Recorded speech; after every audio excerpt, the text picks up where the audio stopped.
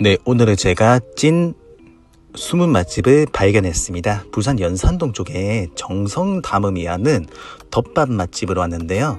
어, 마제 덮밥, 마제 소바, 어, 규동, 덮밥이 굉장히 맛있는 곳인데요.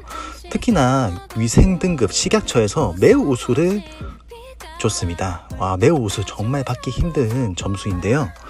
와, 위생도 정말 청결하고 저는 마제 소바, 마제 덮밥, 뭐 규동, 뭐 여러 가지 주문했는데요. 굉장히 맛있었습니다. 웬만한 마제 소바에 따라갈 수 없습니다. 이 집은요. 꼭 한번 드셔보시고요. 포장 가능하고 배달도 가능합니다. 정말 주문이 정말 많이 들어오시더라고요. 5점짜리입니다, 여러분들. 네, 그리고 안락동 쪽에서 정상담음이 있습니다. 많은 이용 바랍니다.